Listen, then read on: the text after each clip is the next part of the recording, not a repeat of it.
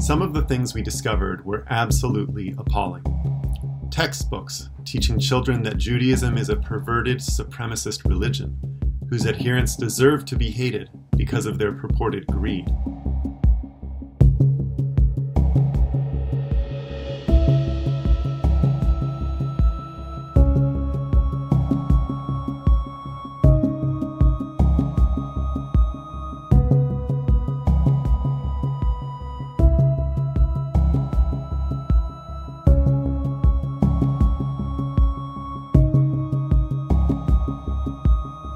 There's much more that can be done